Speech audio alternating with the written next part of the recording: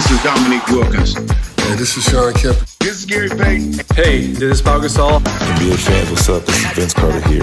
Hey, what's up? This is Matt Barnes. If you're an old school NBA fan like I am, make sure you check out the Basketball Time Machine with my man Sean David.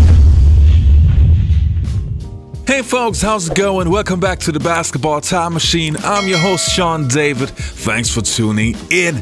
You know what time it is? It is old school NBA time. So, in today's episode, I'm going to take a look at NBA legends giving their opinion on how good Patrick Ewing was. One of my favorite bigs of all time, so it's very interesting to see what the greatest of the greats have to say. So, sit back, buckle up, and let's get right into it.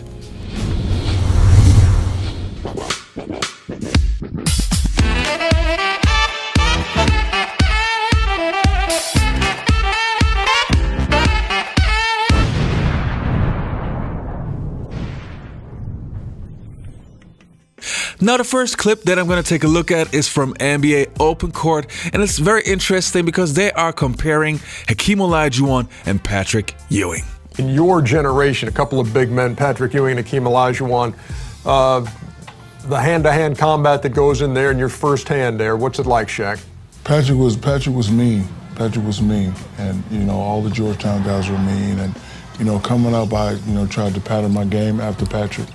And you know, Patrick was a great player, but uh, if you ask me the better of the two, I'm gonna have to go with Hakeem Olajuwon. Patrick is a great warrior, great competitor, and he was probably he probably played with the least amount of talent that any great Hall of Famer probably that you could mention in terms of. I don't think he ever played with another Hall of Famer. So he's the guy that maybe didn't have that talent around him, maybe that, but he's not Hakeem. Well, first of all, I think Patrick Ewing is probably the most underrated of all the great centers because he didn't win the championship.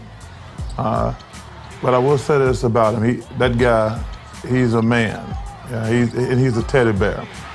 But I'm gonna go with Olajuwon. I agree with everyone here on the panel. I would go with Hakeem Olajuwon out of the two. But the guy that kept me up most nights because he was in our conference was Patrick Ewing.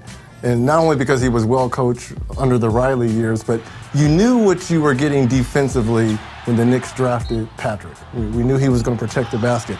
But I think all of us would be a little bit shocked that he has over 25,000 points because he wasn't a scorer while he was at Georgetown.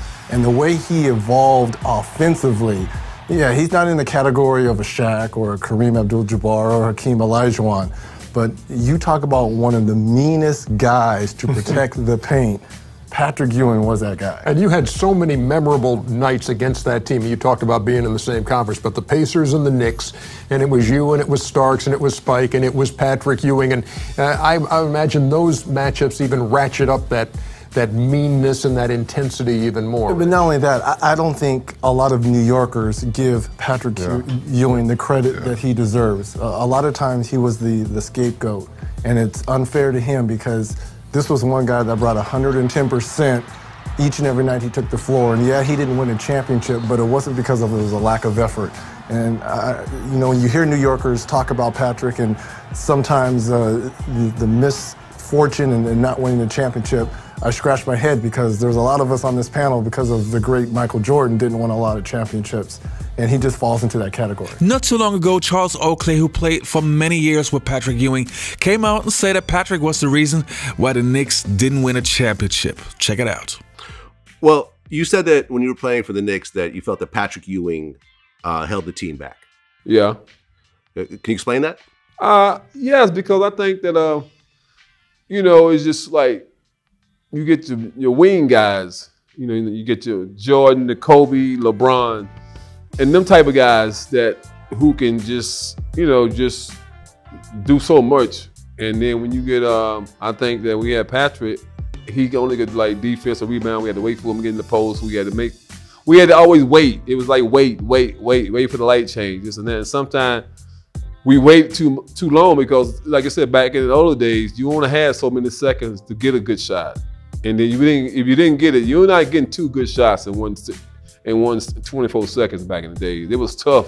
So your first good shot, you got to get it. Sometimes we had to wait too long, and then team when they zone in on defense and the shot clock running low, you can't make so many passes. I mean, it's just, I mean, he was good at what he do, but I think it was just, it was the point it was for us to get over the hump. He wasn't the guy. Those are some pretty harsh words by his former teammate Charles Oakley, but I have to say I respectfully disagree. There are many teams like the Houston Rockets with Hakeem Olajuwon, or the teams that Shaq was on that played a similar way and also were very successful. So I don't think that he was the reason why the Knicks weren't successful in the long run. We are going to wish a f- happy 58th birthday to Patrick Ewing. And so I want you to spend 58 Yes. seconds telling us what it was Yes. like to play against him.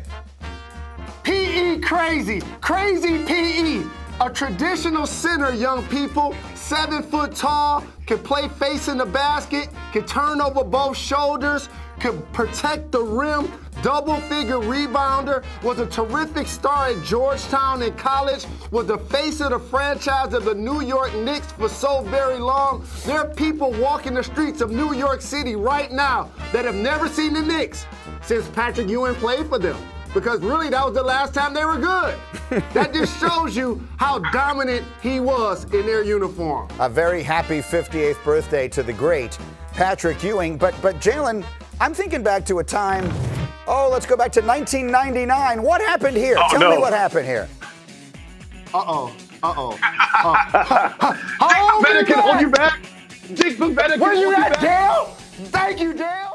I'll give you the final word, Steve Kerr, on this when you put these two guys together and what they both brought to the table. Well, as a guard, you have to learn defensively to, to help down and rotate.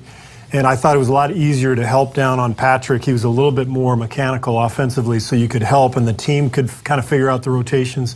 With Hakeem, it was impossible. You all right? No. What's it? You getting look like you're getting emotional. Yeah, I Why just you saw crying? I just saw Patrick Ewing, man.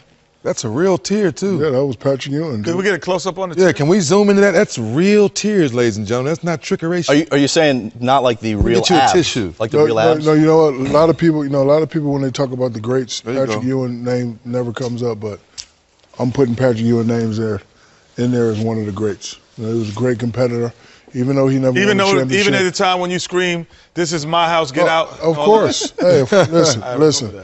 That. I watch a lot of karate movies, and in every karate movie, the student always had to kill the teacher to become the best. So you know, even even though Pat was better than me, I had to to say that to psych myself out. But Pat was a great player, great competitor, did a lot, and you know, I'm putting him as one of the top five centers. Who's number one then, guys? Who's number one guy? If you had to take one, eliminate everybody. So It's he's the number up. one Pat guy. Ewing. David got one. Every center got one but Pat. Ewing, Ewing over Charles. Charles is two. Pat, no, then yeah, I would go. You, uh, Ewing Then had he- better teams. Yeah. Yeah. Ewing's team swept Better Charles's teams when he was in Philly. The, the early Ewing teams would beat. Kenny, would you the go Chuck Charles or Neek? You said Chuck two, Neek. And then Neek three for me. I felt like I could touch the roof, and I just sort of felt Patrick falling, and he tried to grab me. And I didn't do anything. I mean, it, it looks worse than what it is, but uh, I just tried to release his arm so his momentum would just let him fall back so he wouldn't pull me down. And my momentum was still coming towards him, and I ended up sort of just walking all on top of him. And uh, I said something that I wouldn't want to repeat here.